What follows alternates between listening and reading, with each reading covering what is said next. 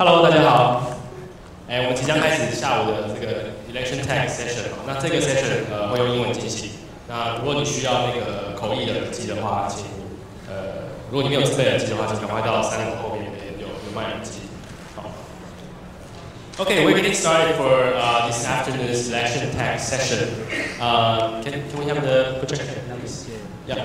So uh, first of all, uh, we will have uh, three wonderful panelists from around the world and uh, joining us in this panel. And in the meantime, uh, they will uh, do a short presentation about the projects they're working on. Um, so please join slido.com and put in the uh, date today, which is 1006 R0, which is this room. Uh, if you have questions um, while the speakers are, are talking, we, we reserve like uh, I guess more than half of the time for Q&A because I think this is an issue that people uh, all care a lot about. And so uh, let me get started. Um, well, again, this is Slido and the room number you want in. So uh, everyone, I'm CL. Uh, people call me CL Kao uh, on the internet. I do software, and uh, as you can see, I do software a lot, even when I'm in hospital. And this is actually the accident that led to uh, where we started the g0v community because I had nothing to do, and then I started to care about what the government was doing, and so I started g0v. Um, so election uh, and technology is always like my interest area. It's like we are changing uh, how democracy works, and, and, election itself is a, like a very important part of that process, right?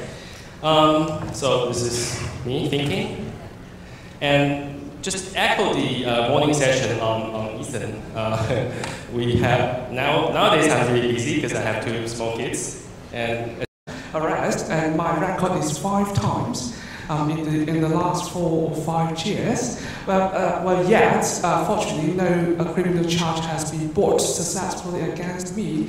And well, I also had the honor to be the first openly gay candidate in Macau's election history.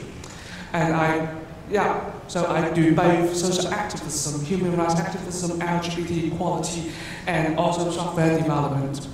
So um, today I'm going to share with you um, some votes under oppression, how tech can help solve legal and political, uh, political problems. The votes that I'm going to talk about are the civil referendum in Hong Kong in 2014 and also the 2014 civil referendum in Macau. And I was deeply involved in the um, Macau civil ref, uh, in the Macau civil referendum. Um, and also the Macau referendum learned a lot from the Hong Kong civil referendum. So I know um, the, um, a bit uh, some technical background about the Hong Kong one, and, and, and, I will explain how tech could be put to use to protect uh, people's uh, freedom of expression. And I guess all, uh, many of you are also aware of a development in Spain last year about a an independence vote. And uh, this vote, well, from my view, is an embodiment of a vote under oppression. And I will talk about more about I will talk about uh, what kinds of threats um, these votes have faced and what design challenges and what design concerns um, that we can um, consider if, uh, if, we are asked to develop a next um, online voting platform for votes under oppression. So now I have to um, hand the stage, uh, uh, the youth floor to, um, to the next speaker to, to give an overview of his. Okay, uh, let's uh, uh, youth floor back to CL Kao. Yeah, so that will be the insurrectionist part of uh, the talk. And next we have Federico um, from Italy.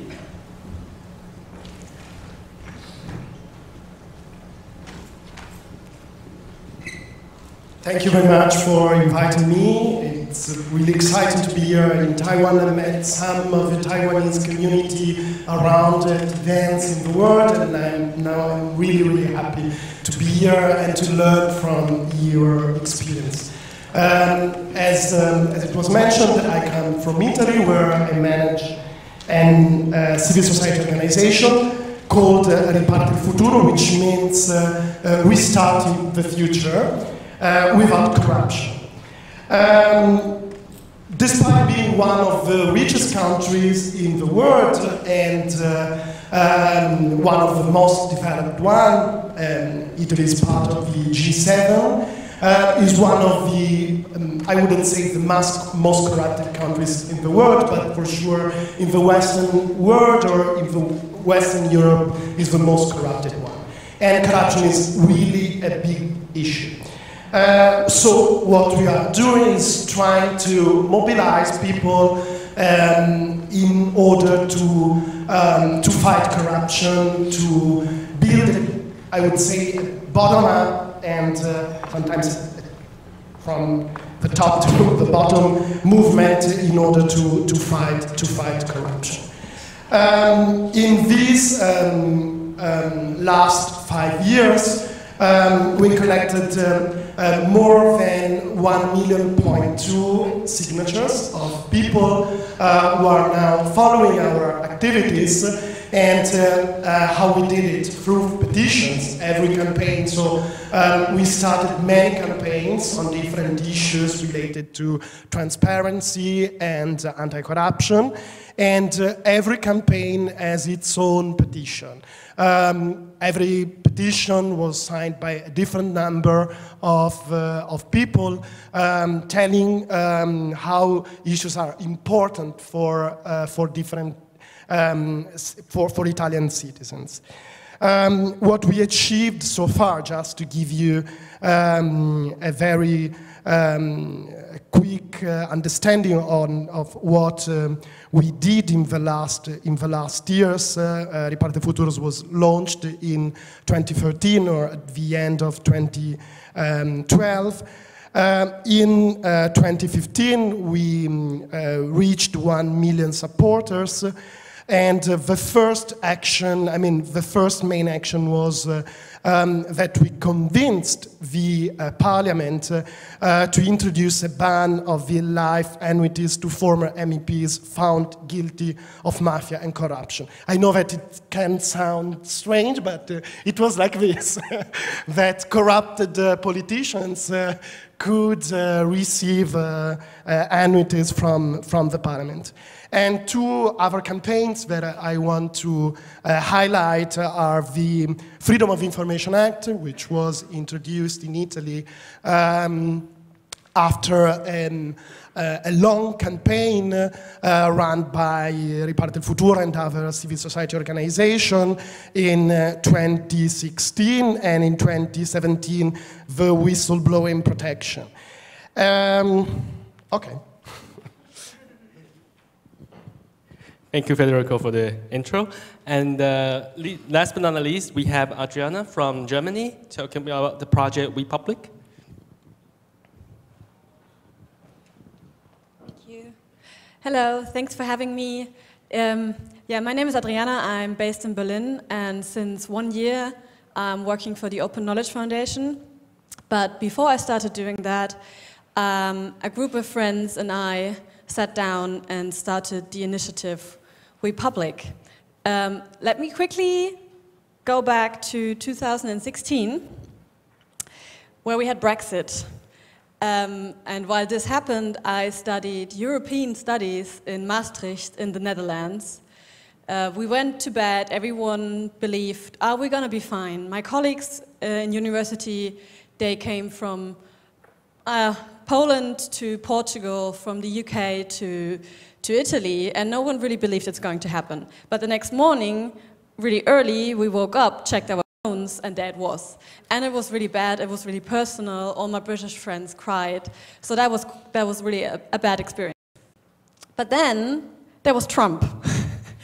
And uh, again, uh, no one really believed that it's going to happen, but I went to bed. I had a really bad feeling about the whole thing. Then I woke up the next morning again, checked my phone, first thing, and I, I don't want to quote, but the first message I saw on my phone was from a friend from the US, all capitals, about to hit the fan. And yeah, that, that was the reaction, the reaction to, to Trump. And then again in 2016, I graduated. And because of all of this, what happened before, um, going to Brussels, working for some, some MEP or working for a consultancy wasn't suddenly really an option anymore. I had this urgent feeling that I need to, to do something about this whole situation. So um, that, that was the moment when uh, my friends and I, we sat down and we came up with uh, this initiative, which I'll tell you more about um, after my fellow panelists. Thank you. Thank you, Adriana. Uh, so if you're just joining us, um, we have the Slido that's taking question um, on this room. If you go to slido.com and then uh, 1006, that's today's day, and the room are zero. So uh, we will now uh, welcome uh, Jason for telling us a bit more about. Ooh. Fingers crossed. We tested it. Yeah, okay. About the, um, the thing happening in Macau and then what can possibly be done in the future. Okay, thanks, Yao Carl. Well, um, well, in, well, in Macau, we held or we organized votes, and many of the votes, and most of the votes, uh, did not have any legal effect.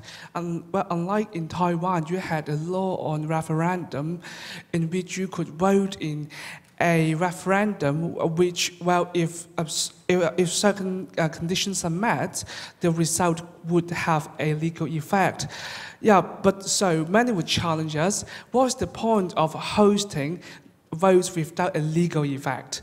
So that's so I, I would like to show you one of the votes that we have organized before. 大猫熊星星六月产下双胞胎兄弟，一个月时间过去，熊猫兄弟党长出白色毛发，越来越有猫熊样。民间组织举办投票命名活动。对着镜头卖萌，两兄弟长得这么可爱，但是投票结果却让人跌破眼镜。为期七天投票，有一千两百二十四人透过手机认证参加，结果贪贪污污，以六百五十一票高居榜首，远远超过第二名的大宝小宝四十票。澳门媒体报道是因为活动期间遭到网络攻击。至于官方澳门民政总署的真名活动，下个月才会正式公布。别以为猫熊叫什么名字，他本身不在意。Well, doesn't the vote, doesn't the uh, look silly? Um, well, um, in places where people um, are not used to um, freedom of expression, people might repurpose such votes to express their opinion. And um, this is just one of the votes that I have organized. Yeah, but I'm not, I'm not talking about um, this pen name vote, this pen nickname vote, because this vote um, uh, for this vote, the result is very provocative, but it was not oppressed. Probably the, authority did not envision um, the final result, and that's why it did not get oppressed. So, but I'm going to talk about um, the votes uh, that were subject to oppression. Let me, well, how to get to next? 澳门大猫熊猩猩。Okay. Okay. Um, well, as a person who uh, often travels um, between uh, the, the, disciplines of activism and uh, law, uh, sorry, the, yeah, oh, sorry, let me put it this way. As a person who has um, often traveled between the disciplines of um, activism and tech, um, I have a, a, a simple observation. Tech people often um, overlook the legal and political aspects of their project. And likewise, people in politics are not fully aware of the potentials of tech.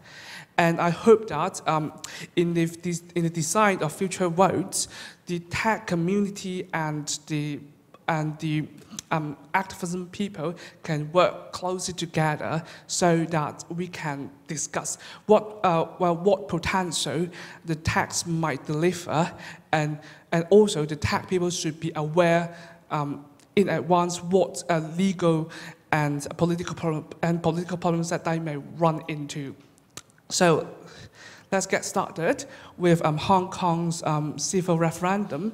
Um, uh, which took place uh, in June 2014. It was three months um, before the commencement of the well-known umbrella movement. Well, back then, the Chinese government um, presented um, some proposal that the Chinese government called universal suffrage, but it was not uh, but it was clearly not universal suffrage. The Beijing had the authority to um, rule out some candidates before the candidates can be um, put to a vote by the general population. So some political organizations in Hong Kong presented their proposals and they put the proposals to a vote. And the vote um, turned out that um, the Hong Kong people were in favor of proposals of genuine um, universal suffrage. And of course, the Chinese government did not like this vote. And um, this uh, well-known um, civil referendum was subject to um, a, a, a, distributed denial of service attack. And that attack was at, a, at a was at an unprecedented uh, was at an unprecedented scale that even a famous um, protection provider, Cloudflare, denied protection initially. But, but later, after the news um, broke out, uh, Cloudflare intervened and, and provided uh, un, un, unlimited support to the University of Hong Kong public opinions programs for protection. And, and also, um, the, the organizers of the votes um, uh, suffered problem of hacking. Some of the workers within the um, uh, within the public opinion program of the of University of Hong Kong got hacked. So, so, so, so we can see that um, cyber attack is one of the threats that a vote under oppression might face. And the cyber attacks were, well, from my view, clearly uh, masterminded by a state agent or a, or a state actor.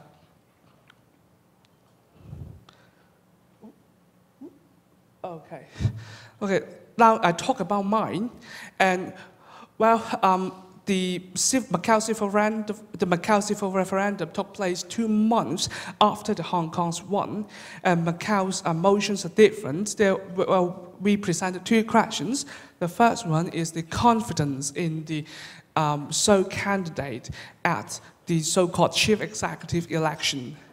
And the second question was a support for universal suffrage. And well, initially, we predicted the same threat model as um, the Hong Kong civil referendum. So I, uh, so I set up um, very strong defense against cyber attacks. But it didn't work out because this time the, the, uh, the threat model changed. It changed from a cyber attack to a legal attack. So I got arrested. Uh, some of uh, my fellow um, volunteers and organizers got arrested. And I got an order from the public prosecutor uh, for data seizure well, I, well we, I, uh, I refused to comply with that order, but yeah, but that legal side of attack was what um, uh, was something that I um, um, I did not anticipate. So, so if I were asked to design um, a system for the next vote, we have to take both the legal and technological aspects into account. Well, but, but, anyhow, both um, the Macau vote and Hong Kong vote um, were successful. We got um, the results that we could get, and the citizens enjoyed this vote, uh, the opportunities brought by this vote to express their opinion. And um, the, um, the vote in Catalonia last year uh, was what I say uh, uh was uh, under multifaceted um, suppression. Um, so um, the, the, uh, the, Catalonia vote um, um, um got legal orders uh, that was sought to prevent the vote from happening. Well, uh, uh, arrests of the leaders of the Catalan government um, were made, and there was internet censorship, and there was denial of service. And for the purpose of um, the Catalan uh, vote, the denial of service was not um, enabled by cyber attacks, but by uh, a police raid. The police just intervened directly. uh, just or in, engage with the service provider directly to, de to deny services. And also, the polling stations were raided, and the um, and the ballot and, uh, and the um, ballot papers were confiscated. So we can see that um, this is a, a, an enhanced version of, um, uh, of, of, of oppressing a vote. So, so I, I always present myself a question as a person who, um, who has kept an eye on the development of um, technology and voting. What if, uh, what if my colleagues were asked, well, what if my colleagues um, were to ask me to design a system that uh, uh, for a sensitive vote that would happen um, next month, what would I do? So I summarized the threats that these votes have faced. So there are, there are four models. It can be denial of service. For the Hong Kong, it was from a cyber attack. From Catalonia, it was a, a shutdown of websites and suspension of domains. Ha we had police intervention, judiciary order, and media censorship. So we can see that there can be these kinds of threats um, facing, uh, uh, facing these sensitive votes. And also, we, can, we should look at uh, what are the targets of these threat models. For denial of service, the target is the infrastructure. For police intervention, the, the, well, the target, um, the hardcore voters, volunteers, and supporters, and so on and so forth. So, I, so I'm proposing uh, this kind of infrastructure for a voting system. And well, the important point is that we should use, um, well, well, we should use the hidden web to route the, um, um, well, to, well, to route the traffic to a, a, um, to, um, to a backend server that's out of, that's, that, be, that would become effectively out of the jurisdiction of the host state. And also, there should be a clear separation of the roles between um, the IT people and the politicians or the activists on the, um, on the front, so that by providing this insulation, um, um, the police would have no person to look, uh, to, uh, to, uh, to look after if the police want to take the website down. And well, well we know that um, blockchain technologies are not mature yet, but there's a um, good aspect of blockchains that we should use, which is um, the ability to store information permanently, or at least some bits of information permanently. Well, uh, we, can, we, we, should not use the so-called distribution decision-making mechanism of blockchain, but is the, but from my view, it's desirable to put the timestamps, checksum, and final result on the blockchain. So no matter um, how, um, so, so, so, no, so no matter, no matter how um, the vote is going to get suppressed, um, the result and the proof for, for the integrity will live on the blockchain. And there's a, also a problem for uh, voter eligibility. For Macau, we could use um, some check digits from uh, uh, on, on the Macau identity paper to check the voters' eligibility. But there was some technical constraint that I had to open the votes to non-permanent citizens. Under, usually, under Macau's law, um, only citizens were um, allowed it to cast a ballot, but in our case, I had to open it up to also non, um, non-permanent residents because there was no way to technically just looking at these numbers to distinguish non-permanent residents and permanent residents. And uh, in Hong Kong, uh, what they were using was uh, a, just a check digit at the end of their, um, of their ID card number.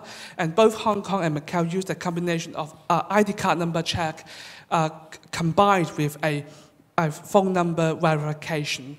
So, so we could, so as civil society actors, we could only approximate the principle of one person, one vote. Um, by doing so, we can minimize the effect of fraudulent votes.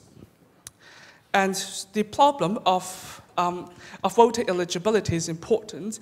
I guess you are familiar with this vote hosted by a Taiwanese um, political party. And uh, well, we knew that um, this particular mascot was elected. And I also learned from the news that some leaders of this political party did not really like this mascot. The problem was that it, um, the designer or the architect of the vote did not envision the problem of voter eligibility. Well, I know that there are um, very smart statisticians in Taiwan, but their knowledge did not trans, uh, well, their knowledge was not transferred to the, to the people hosting um, the mascot vote. Uh, but from the Western's eyes, but I think, um, well, the, the, the, these two mascots on, well, on, uh, on this end uh, would look more controversial. I mean, yeah. So to sum up, um, well, uh, well um, under the um, new design concept, I could only mitigate, I, I could only um, um, mitigate some of the threats, but not all. And there are some issues that, that that still could not be addressed. And I hope that I can discuss this problem um, at, the, at the discussion session. So I yield the floor back to CL Kao. Thank you very much. Thank you, Jason, for the overview for um, like how you implement a well whole new election system, I suppose. Um, so before we go to um, the discussion, we will continue with uh, Federico on the. Um, ah, my laptop is weird. Um,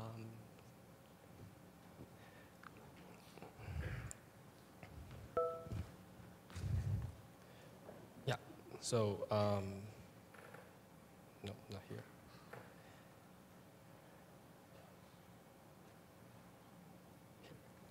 Yeah.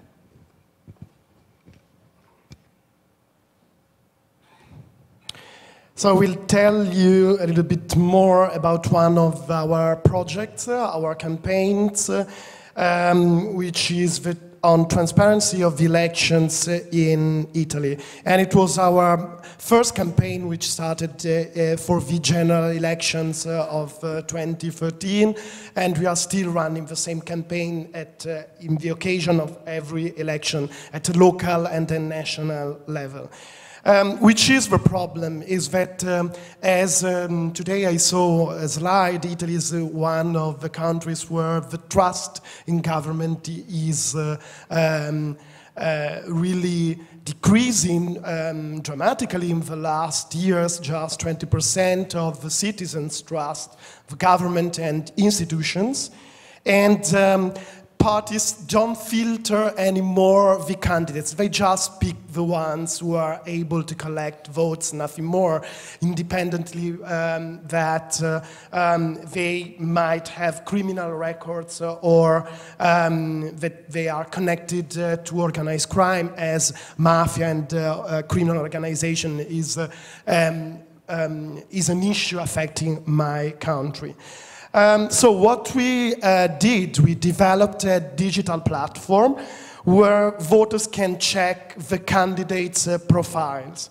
We have engaged citizens through an online petition. I told you that uh, petitions, we always use petitions, urging candidates to commit against corruption. Um, candidates from all political parties have been asked to publish online their curricula, any potential conflicts of interest by filling a form, I'll show you later, their criminal records, their annual incomes, and who finance their campaign. This is um, how the personal profile, in this case, it's the deputy uh, prime minister, the leader of the um, Five Star Movements. Maybe someone have heard about this um, political movement. And as you see, the CV, um, the judiciary state, uh, and then the conflict of, oh, sorry, the conflict of interest, okay? They have to fill a form on the conflict of interest, the um, income situation, and who financed the campaign. Um, so uh, by starting with the campaign of the, the first one, the 2013, what was brilliant at the time was to give a, a gadget, a present to the candidates who, um, who joined the, the campaign, who decided to submit, uh, to publish their data on our platform. We sent a bracelet. Uh, this is why we called the white bracelet uh, uh, campaign. We sent a bracelet that candidates could use during the elections, showing that they were committed to anti-corruption. And as you can see, there is written uh, one cento giorni, which means 100 days because uh, they pledged not just to publish their data online, but um, um, to um, this, sorry, to amend um, the penal code once elected. So in case of election, um, they should have uh, amended the penal code, uh, in particular um, the article uh, um, which um, is related to the um, relations between politicians and criminal organizations. At that time, that article was completely unaffected. Um, so, um, that campaign was particularly successful because it was the first time, and at that time, I mean, during the uh, 2013 election uh, campaign, uh, transparency was really the main focus for politicians. The Movimento Cinque Stelle, the Five Stars movement, uh, which was really pushing the previous government for more, more transparency, presented itself for the first time at that elections, and it was really, really um, presented itself as the movement for transparency.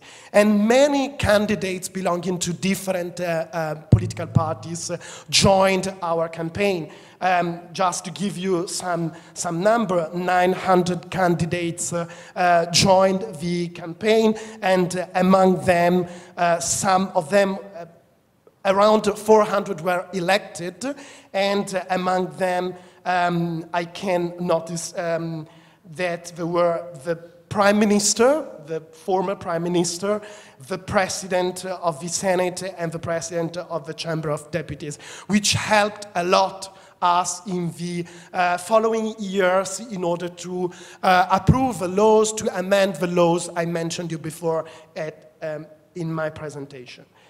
Um, this is, uh, means know your candidate. This is the um, platform that we developed. This is the team uh, with my colleagues. Uh, I'm the older one, as you can see.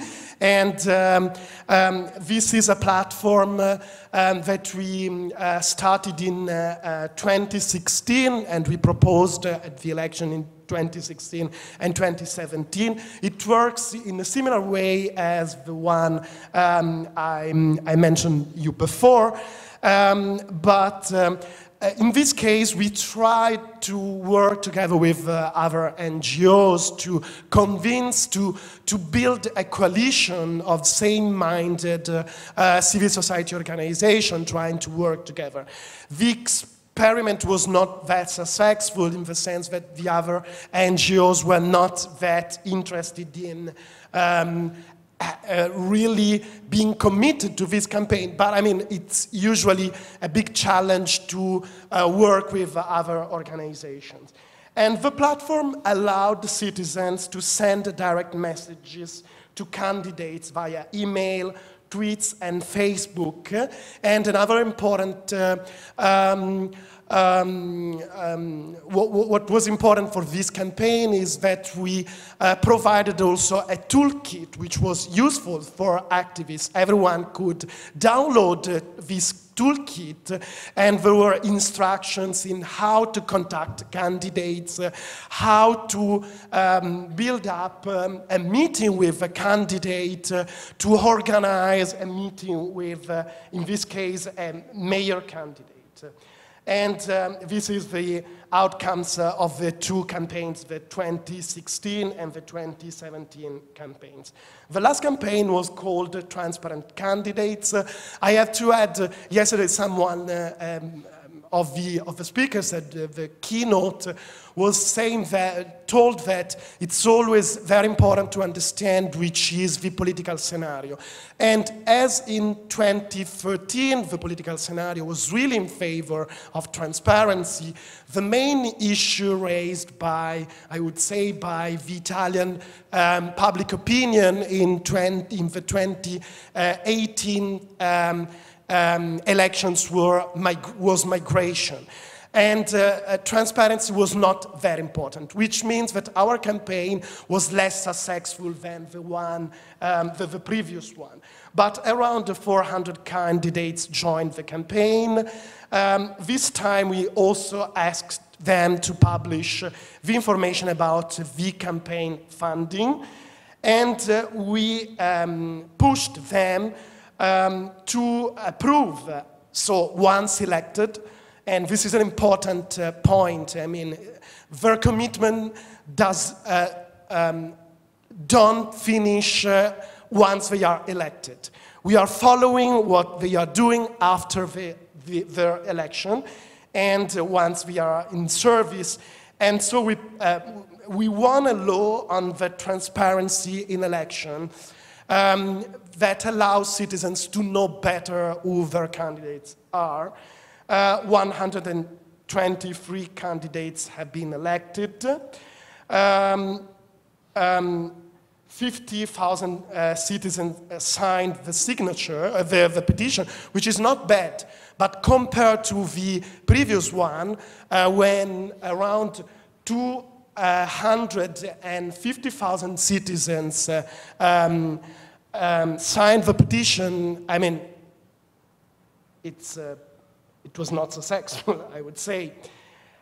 Um, we, we like to track what, uh, what, what we do, which means that uh, five people uh, um, of the organization worked full-time for this campaign. We campaigned for 22 days. We directly uh, contacted uh, um, seven, 70, 700 50 uh, candidates. Um, um, I already mentioned the number of people uh, who signed the petition. Um, 11,000 uh, people uh, sent direct requests to candidates through our platform to join the campaign, which doesn't mean that people um, did not contact candidates through other uh, media, but it's, it was the first time he used such a way, and it was really interesting to understand uh, how citizens were engaged. And 1.3 million people um, uh, watched our uh, videos because uh, as campaigners we uh, love to, uh, to spread the voice and to have people on board to um, to try to mobilize uh, a great amount of people, and 5.5 million people re were reached through social media. This is the last slide. The platform, just an insight, was designed to guide voters directly to their own constituency. So users could search by municipality and if desired also by political party and uh, users could also report potential inconsistencies, which means that we are not policemen, it's a neutral platform. Um, we don't judge the candidates, we just want candidates to be transparent. Um, but uh, citizens can write if there is uh, any inconsistency in the declaration made by the candidates. Thank you very much. Thank you, Federico, for the story uh, on um, campaigning the transparency during the election. I think uh, we have a lot to learn from you. And so uh, now we have, please, uh, Adriana, for the WePublic project in Germany.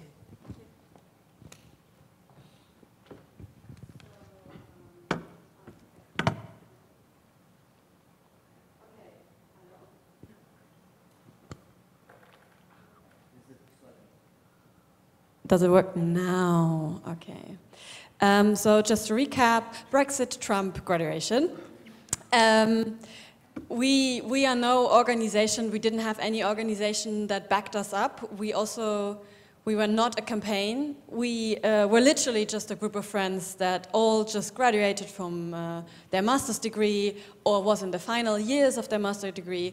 And we sat down at one of our mom's kitchen table and we thought, um, okay, what, what are we doing now? And I just see that I'm missing slides here. Um, I'll try. Yeah, there are two missing. Um, I see if I. Yeah, I, I just use. I just you know. I just talk about beautiful Taiwan. I love it here. Um, let me quickly. Maybe I find them on the top.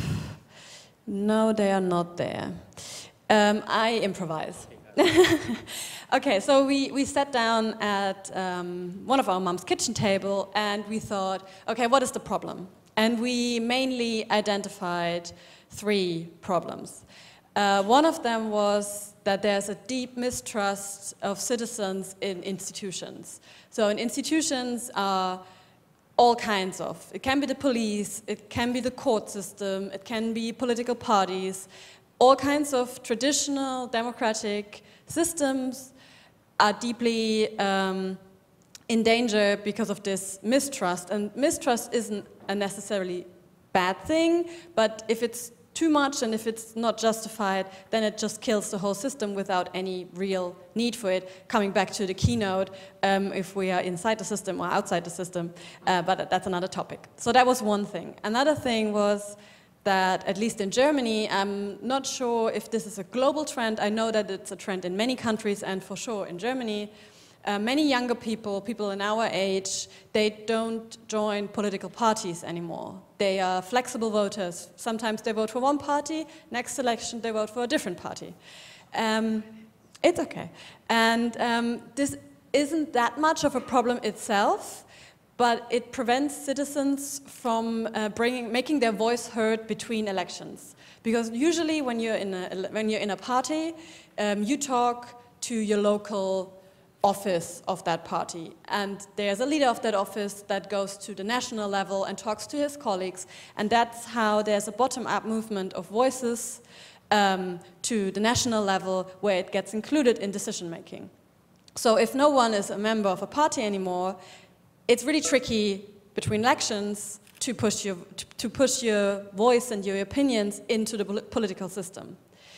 Um, also, mass media used to be the predominant um, source for information. So there were a couple of big newspapers or TV channels everyone watched. So everyone had kind of the same knowledge base. And then, was, then, then there were experts for some fields. And that was all really, it was really hierarchical, but it was also really structured.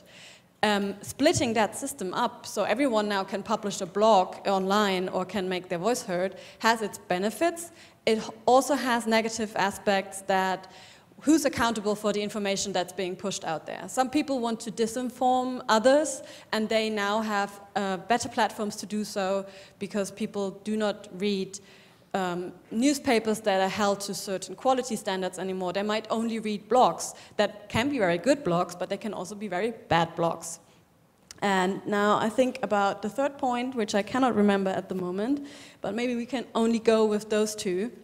Um, oh no, I remember. And then there's one thing, uh, we wondered why everyone uses their phone every day to text family, friends, but we also use text messages to talk to our colleagues at work.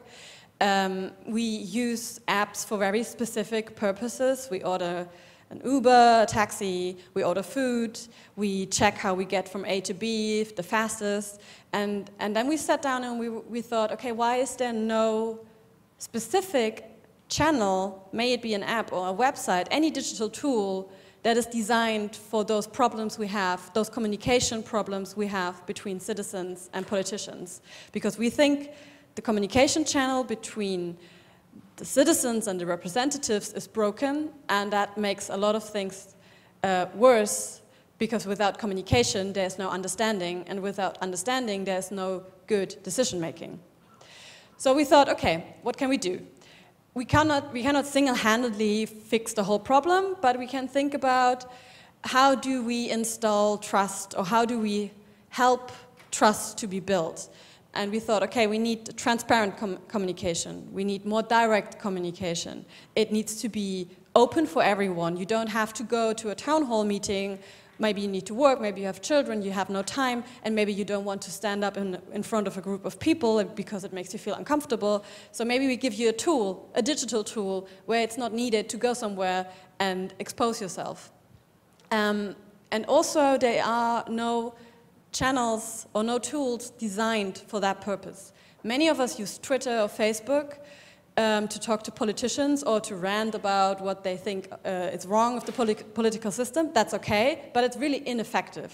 Uh, again, coming back to the keynote this morning, it's about efficiency. So why do you just put, put out your voice somewhere to the internet when you can maybe target who you want to target directly. Twitter might, might work, but Twitter, at least uh, in Germany and in most of the European uh, countries, is a very, let's say, elite tool. Most people are not on Twitter, just some are. So th that's not really effective.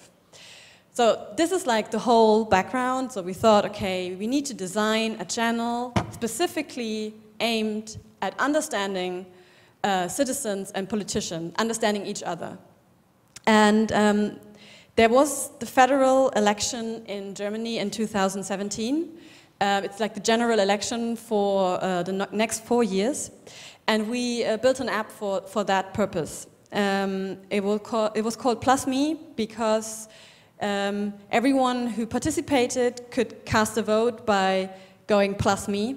And it uh, more or less worked like this. Uh, it looked like uh, a chat and you could only ask questions. It was uh, for the election specifically, so questions about things uh, that matter to you. And then you sent that question, and everyone else who used the app could see th that question you asked. And if they think, oh, that's a good question, then they went plus me. And, uh, or they asked uh, a different question that was important for them. And by that way, every day we had one question that was of the highest interest uh, for everyone that used that app. And this question was posted forward to all seven mayor, major um, political parties in Germany. By that way, we made it possible that a group of people that cares about the same question talks to a group of politicians that then answers that question. So you don't need to know if you're interested in voting for the Greens or the lefties or the conservatives. You only need to know what you care about, and you get seven different approaches to that question that you can then compare. And during that process, you understand maybe, okay, I really like, every time uh, I get an answer from that party, I really like it. Um, there was also, maybe I talk it quickly through it, so it looked now it doesn't work anymore. There it is. It looked like this. So I'm sorry, it's in German. I, I couldn't translate it. Um, so you just posted a question. Uh, you send it. If someone liked it, it changed uh, the bubble from one end to the other. And then there came the answers. So it looked like a group chat where you have one question on top and then seven different little text messages underneath. And you didn't know who gave the answer until you said good answer or bad answer. By that way, we also tried to put a little gamification into it and to make it more, make it more fun, more engaging, and also to prevent you seeing, oh, this is from the left, I don't like the left, I don't like the answer. Read it first, think about it, and then after you find out. Um, so yeah, then it switched the icon so you could see. Um, it worked out really nicely. It was really nicely to see that a group with uh, no experience, like me and my friends, uh, no users, could go up to uh, the big parties in Germany and be like, okay, we have this app, it's, it's, cool, it's cool, it's young, it's digital, you want to engage people, will you use it? They said yes, and, um, and it, it, it worked out um, pretty nice. But the idea is to not have something like this only for election, elections. The idea is to have something like this permanently open and accessible for both sides, politicians and the citizens, to understand what is going on on each side. So to not only allow questions, but also allow opinions or, or um, ideas to be pushed over that. So we are complete rookies. Um, we don't know what, what is doable and what is not, but you get your dreams smashed anyway, so you might as well dream big. And so we thought, okay, maybe we make it like this many-to-many communication, like a huge group chat, but we use natural language processing or some, some sort of intelligent software that can cluster input from both sides, like, like in that format I put here, so that it becomes understandable for everyone who's looking up on that app what is going on. So that you don't have like this massive pile of information, you get clusters, and you might be able to inter, uh, to be, um, yeah, to interact with others. So uh, that's what we did. Um, we are now thinking about doing it for the European elections. There's a big European election coming up in 2019 in the beginning. And we hope that by, by experimenting with uh, tools like this one, um, that do know they, they, don't, they don't do any harm, but they provide lessons learned and they might help others to also try um, tools like this. And in the end, they might improve communication between different groups uh, in society and between politicians and citizens. So um, I'm looking forward to the discussion and I hope you have many questions. Thank you, Adriana. So I think this is a perfect example for a theme uh, participation that uh, was mentioned this morning. And uh, so uh, as you can see, we have a very diverse uh, use of technology uh, that um, maybe in maybe in the, the, the, the, infrastructure of election, how, how can you design a system that is for people who wants to do self-determination without oppression from certain authority. And we have um, um, a way to interact with maybe just a candidate or in future or the politician. And we have using uh, example using technology to encourage uh, transparency um, more proactively from the politician themselves. Um, so we have, uh, whoa, what's going on? Quite a few questions. Uh, there were some questions here. It was gone or? Okay, that's right. Okay, um, so if if you want to ask a question, you can uh, go to slido.com or you can just raise your hands right here. Do you have any anyone from the floor with any question for the uh, panelists right now? If not, we will go on. It's too bright. Oh, over there, please press the button on the my name from uh, I'm, my name is May. I'm from Taiwan, and I was a student from SOAS too. And because you're from Auman, so I just speak in Chinese. Um, 我想要知道的是，呃，因为我有一些朋友在香港，他已经不能买飞机票或者是火车票到中国去了，所以我想要知道，当你在澳门做从事这些呃擦边球的抗议行为。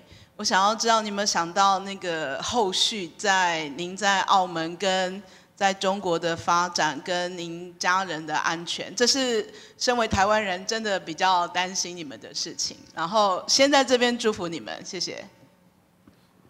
Uh, that question was for me. Yeah, and so quickly summarize in one sentence. Okay. Um. So um. So uh. so I was asked about um, some safety concerns um, working, um, um, well, working in a place now under Chinese rule. And uh, well, I, I would say that the, uh, the civil societies in Hong Kong and Macau are getting more and more difficult to work. And the Chinese regime is getting more and more oppressive. And I guess um, Taiwan also faces the, this, um, the escalation of oppression from the Chinese regime. And well, we are, we are fully aware of um, this kind of escalation, and my colleagues on the ground will um, try their best to devise um, the appropriate response to this situation. And I, I, I, I, would say that we cannot just apply the past model to the present situation because um, things are quite different than it was before. So there, there isn't a direct answer to it because it really uh, is, it is really dependent on what question um, you are working with. there are civil societies, there are civil society actors that work with uh, more um, governmental policy issues. They are still fine, but for yeah, but for some disruptive um, people like us, we have to uh, come up with um, smarter ways to.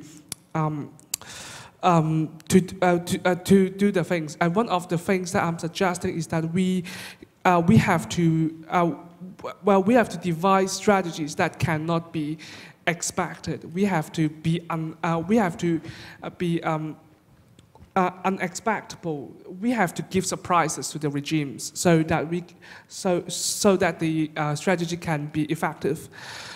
To devise surprises, um, that I cannot talk about the surprises um, in an open setting, and but but I would say that we cannot apply um, old ways to new problems. We have to come up with new ideas and strategies to out to outsmart the regime. I think that's the a response that I can give you. Thank you, and, very, and thank you very much for uh, keeping an eye on the developments in Macau and Hong Kong. Thank you. I think the short qu question was that can you go home? a really good question. Um, you don't know. You're not sure. I yet. don't know. Okay. but uh, from um, Federico and Adriana, your point of view, uh, is there a similar thing for, um, for, for people hosting the Catalonia uh, referendums like, like that as well? Because I know uh, one of the leaders got chased off uh, Spain, right? So.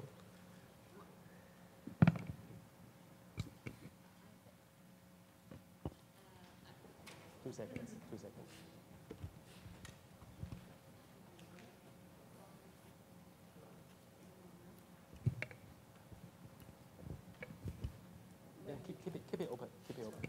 Don't, don't switch it off. Yeah. Okay. It's two, two second delay. Yeah. Okay. Ah, hello. um, I think he he's in Brussels now, the referendum leader at the moment. I'm not completely up to date on, on that issue. Um, so what my opinion is on that topic, or what was the question exactly? Um, so when people are trying to host election or campaign that is uh, sort of being oppressed, uh, ah. do they face the same safety issue even in Europe? Um, in in Germany, I don't know of any example that would be comparable. I mean, there's the danger that someone's getting, starting to spy on you, um, and that the police may raid your offices or your home.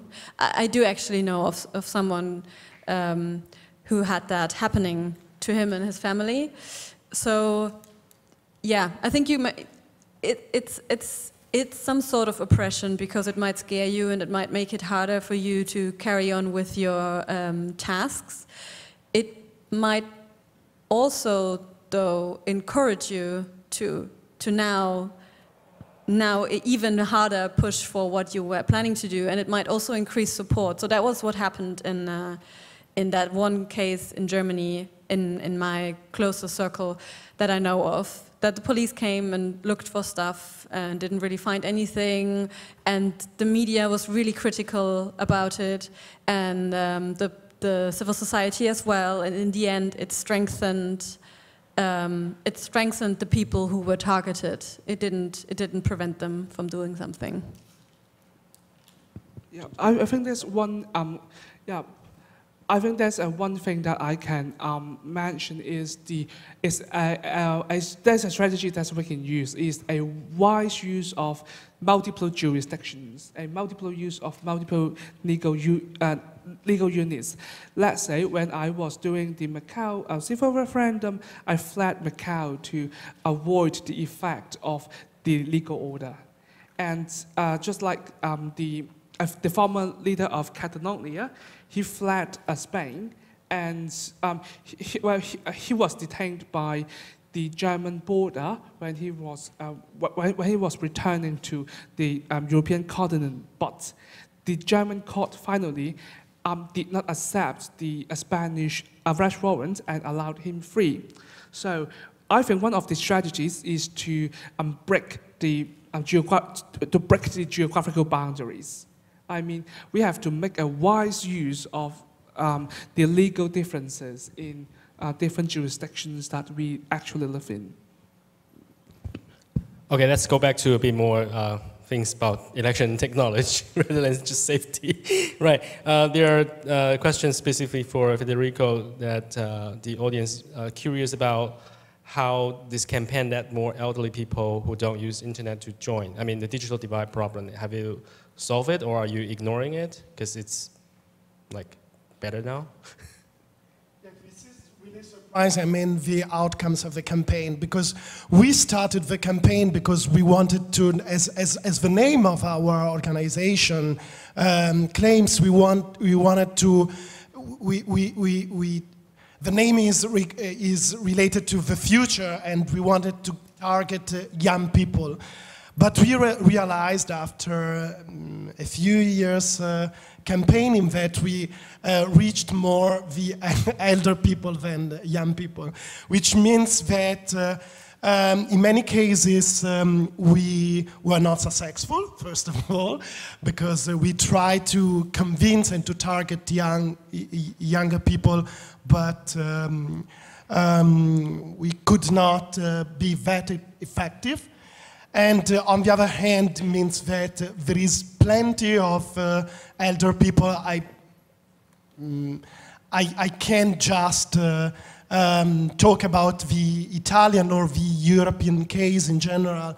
There are a lot of uh, elder people which are very, very, um, um, which use a lot of technologies, uh, um, such as Facebook, for example, uh, social media, and they are very open to um, to be useful for, they are still very interested in being useful for society.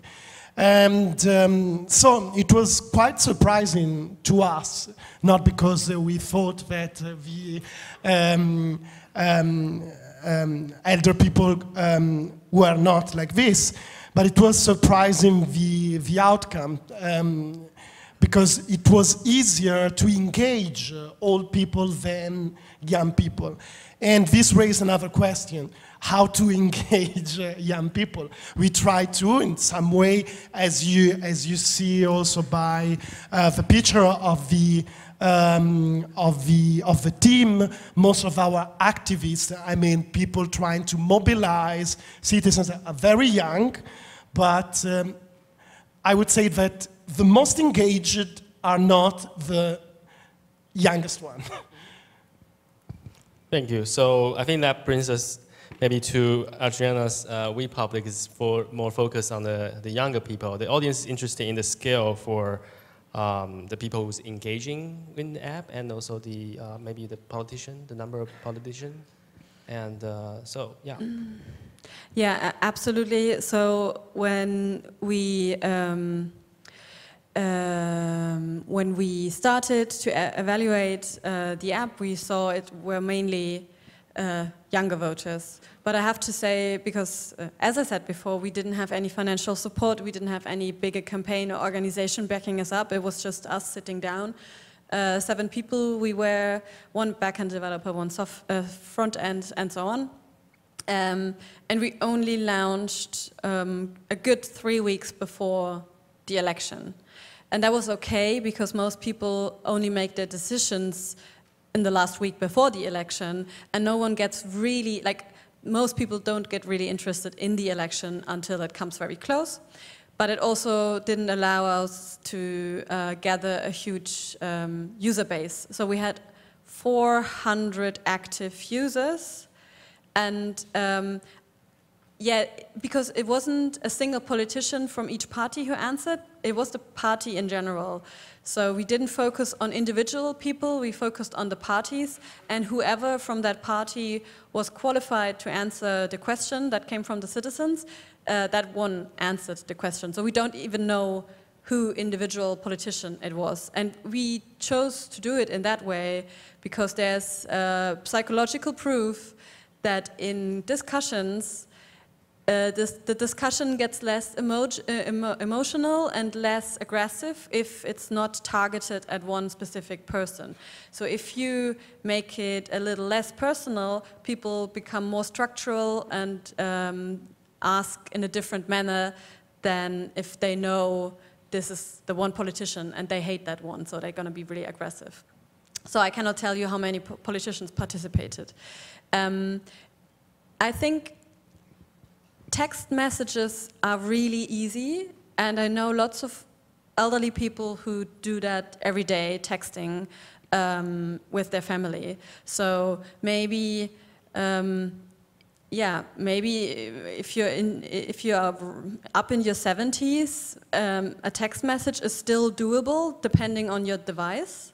So we believe that if we keep it really simple in this text message format, it would be possible for, for um, all age groups to uh, participate. Um, there was a follow-up on that question. It, it's, it's, something about, well, will it be dead? yeah, how do you promote your app? And Excuse me? How, how, how do you promote your app? How? Yeah, so at the moment it's not, it's not alive because we, we designed it for the one election in Germany and to make it uh, an app that is also working in between elections, there needs to be a lot of things uh, done that we haven't yet. So we need uh, way more sophisticated software because the voting on each other's questions only works if there's a limited time frame and a limited amount of questions, like when you, when you run up to an election. If this is open for forever and you didn't, because you didn't have time, you didn't check in the app and there are 500 questions, or ideas or opinions from your fellow citizens, you won't read them all. So we need software to structure that huge amount of Im, uh, input before we can make it work in between. So yeah, as I said, we want to do it for the European election because then we don't have to change as much as we, um, as we have it at the moment. But to make it a long-term, functional, sustainable product, there needs to be a lot of more work to be done. Right, so just to recap, uh, the number of users in the last election is about 400 active yeah, users? 400 active okay. users. So more downloads, but active users, active, yeah. only 400. Yeah. So I, am I'm, I'm fond of this kind of interaction in dialogue, and agreeing and disagreeing. It's very similar to what uh, Polis is doing, that we yeah. uh, experiment with the public opinion, uh, voting on Polis, and then you get uh, people group into opinion groups, and then see how similarity is between uh, very different opinion groups. So I think this is a very interesting way of, uh, uh, uh, like, if you uh, went to Pablo's session yesterday, you can see how technology and the format of discussion forum can uh, have the impact on the quality of the discussion. So I think in the meantime, we're talking about not just election, but also the communication with the politician or the, the candidates. Uh, we need to think about, like, are there new forms of communication with that, and also from the, the citizens. Right. Uh, any more questions from the floor? Over there, white shirt, please. Uh, hi, I, I have a specific question for Mr. Chao. And uh, uh actually, I am kind of interested in the uh, voting system that you propose, which is uh, a combination between, you know, combination of the toll system with the blockchain technology. And can you tell us more about how did you come up with the idea and did you design the entire protocol feed and uh, what's the current situation of the system? Is it open source or something like that? Thank you. Um, the, uh, the, design concept, sorry? Hello? Okay, that's right. Um, the, the, the, design concept I presented just now um, was not implemented. It was the design concept um, that I uh, um, um, um, that I made to uh, in, a, well, in, a, in a response to an assumption that what if my colleagues um, would, uh, uh, let's say, uh, if my colleagues um, wanted to have, a, ha to have a vote which would be subject to huge oppression uh, in, in a, um, let's say next month, what would be the best design for an, uh, for an electronic voting um, platform? And well, we know that there are too few cases of successful use of blockchain. And very often, the so-called voting or um, consensus mechanisms of blockchain were um,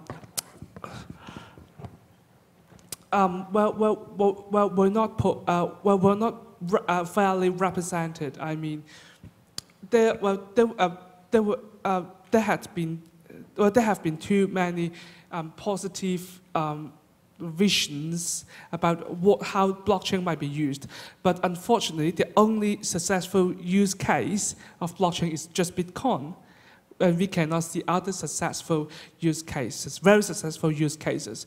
But we can use um, a characteristic of Bitcoin, which is the ability to just put a message on the blockchain and, and, and, and, and, and, the, and the message will stay there permanently.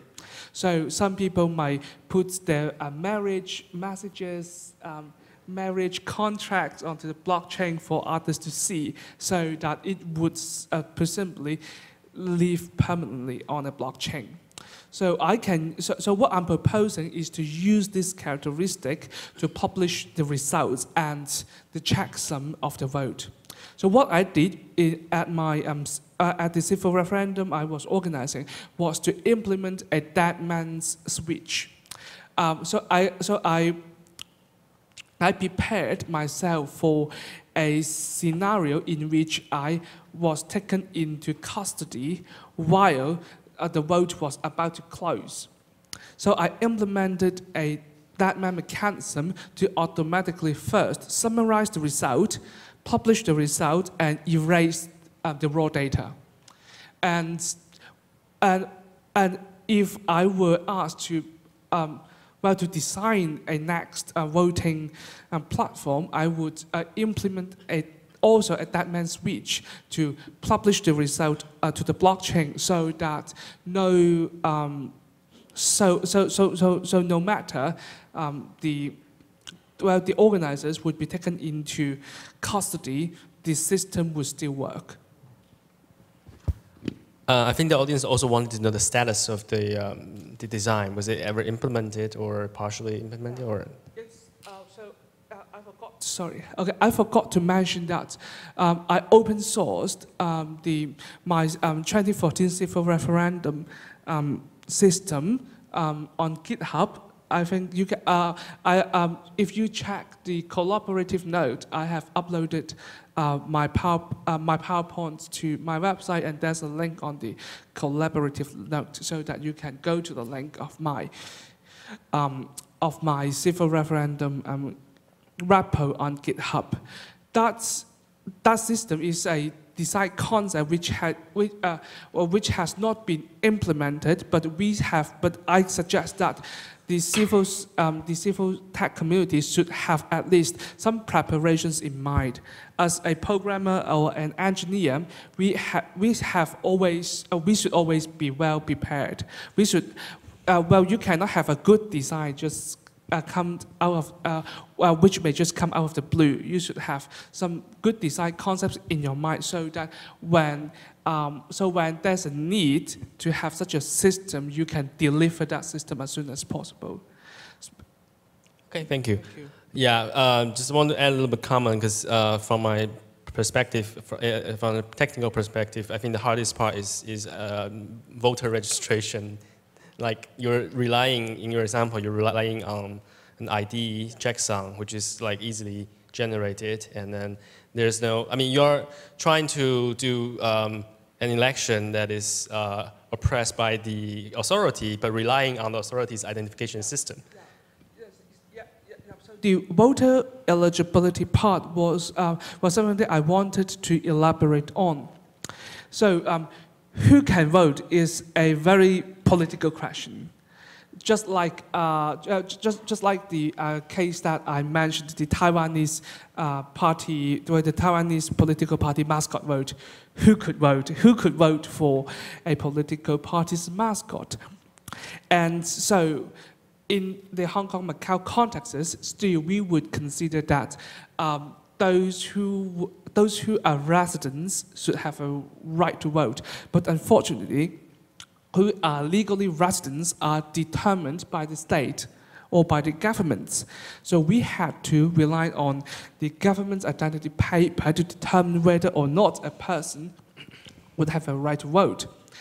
And well, uh, uh, we are very aware of the fact that there are, uh, there, there, um, the, the algorithms or the formula for the check digits are open. So, and so it's so easy to fabricate or to generate fake identity numbers. So both the, uh, so um, from what I learned from Hong Kong, and we followed suit, we used a combination of ID card number plus a local mobile phone number. But I do not recommend this approach because now I don't trust the telecoms in, um, in Macau and Hong Kong anymore. But back then, they were still, in some sense, untrustworthy, well, in the context of 2014. So we used that combination. Um, uh, we assumed that a, to generate fraudulent mobile phone numbers to receive a verification text message, it would involve um, very intrusive way to, uh, well, to, to intervene in the operation of the telecom operators. So we thought that it would be very, less likely the authority would do this? Well, we cannot ensure that um, uh, we can uh, effectively check the identity paper of every voter. But what we could do is to ensure that uh, a fabrication of votes would be impossible or would be too hard to have a great impact on the result. So both the Macau and Hong Kong votes could uh, approximate a rule of one person, one vote. Uh, we are not government bodies, so we do not legally have the authority to ch check the identity paper of the voters. And the uh, the vote is a different issue. Um, they got the official um, um, electoral roll from the, um, from the central government, and there were some legal disputes between that. It was a registration, voter registration-based system, so they had a different approach. To encourage greater participation, what I chose was to check that if you uh, hold a valid Macau um, ID card, no matter you are a permanent citizen or non-permanent citizen, I allow you to vote because I cannot determine whether or not you, uh, you are a permanent or non-permanent citizen. So, so, so some technical constraints um, um, affected how I, uh, how I decided or how I wrote the uh, voting rules. All right, thank you. Uh, we don't have much time left. We have quite a pile of questions now. so can we be like really short on the, let's try to go through then as many as possible, right? So uh, to Federico and Adriana, what do you think about technology and populism in upcoming elections in, in uh, Europe? We are all very... Let's keep it on, keep it on. We are all very frightened by next um, European elections uh, because, uh, for example, in my country, in Italy, the last general elections were won by I would say two um, populist parties, one the Five Star Movements, which could be considered like a more leftist one, and um, is more involved in uh, technology and uh, uh, transparency issues, and the other one, Lega, which is a really far right one, and it's more concerned um, about migration. And um, it's trying, together with our political parties in Europe, to build up a coalition of movements uh, um, which could um, um heavily damage the uh, architecture of the European institutions.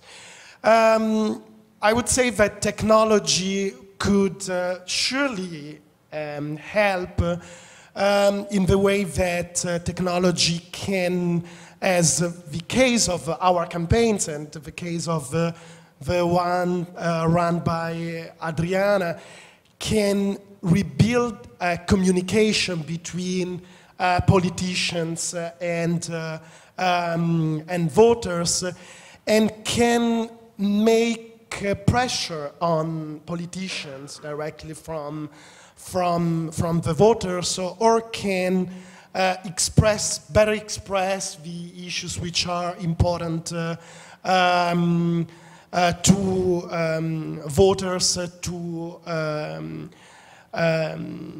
to politicians or two candidates. But there is also a dark side. There is also a dark side, which is uh, fake news, uh, which is uh, echo chambers, uh, uh, which is the misuse of, uh, of technology.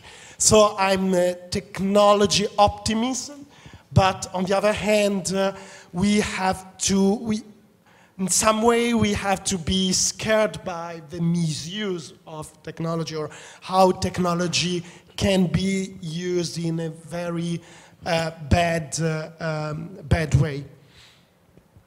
I mean, we, we have Steve Bannon now in Europe um, after he kind of failed to uh, remain Trump's little helper. He's now in Europe um, forming the movement. So yeah, the European election is going to be um, exciting.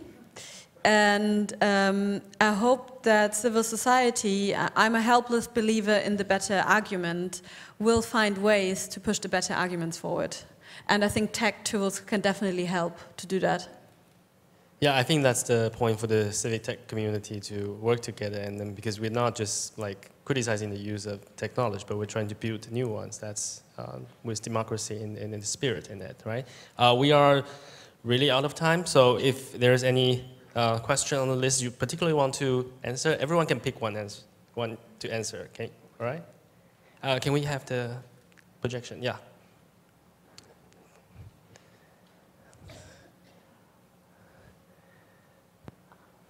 Yeah, I'm sorry, I'm not qualified to answer um, Asian-specific question um, about if there are funding sources available, uh, laws about funding sources. I don't even know that for Europe. I'm sorry. yeah, I can, I can answer this one.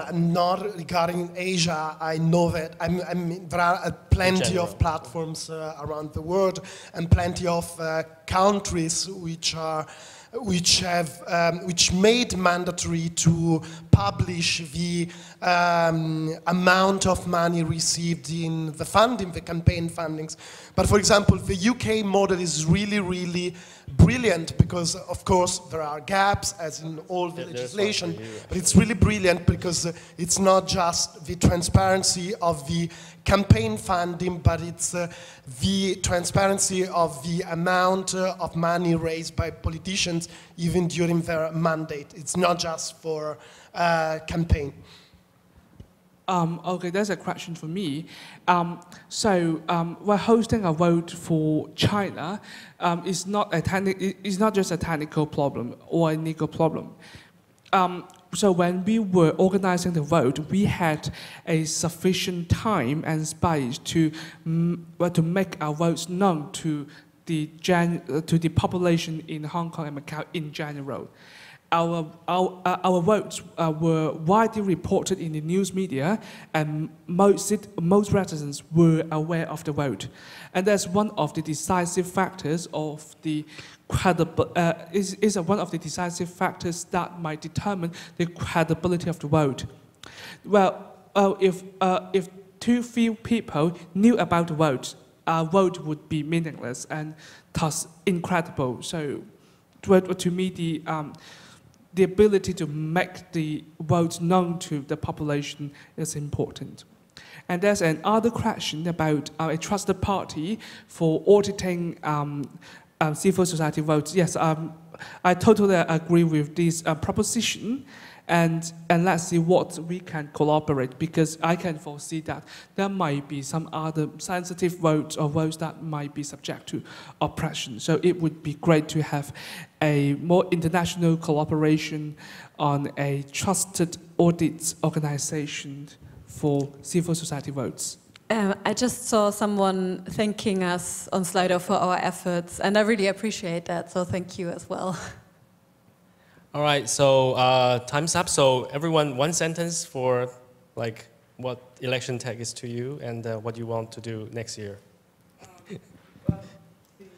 a, a free and fair election and civil, so, civil society work is, uh, is becoming more an interdisciplinary, interdisciplinary, interdisciplinary thing. And so we need a collaboration of people from different disciplines and backgrounds, and people from different, um, well, people of, uh, uh, well, people uh, with different expertise should have exchange more often. To me, it's the same. We have to build coalitions, uh, working together, different uh, um, backgrounds, uh, or same-minded people or same-minded organizations. Um, in many cases, it's not a matter of um, the topics uh, we are focusing in, it's a matter of uh, defending democracy, like uh, in Europe where we um, uh, foresee an erosion of um, democracy. yeah, for me, election tech um, means tools that help both citizens and politicians to make better decisions. They need to work for both sides, otherwise the whole idea of democracy doesn't really work. We are, it's not us against them. For me, it's like, okay, how, do, how can we work together and make this whole thing work out better? All right, thank you, fellow panelists, and thank you all for being here. And then hopefully uh, next month's election in Taiwan will be interesting. and uh, Thank you. So uh, I think we have um, tea break at the uh, fourth floor, maybe. So yeah, thank you all very much.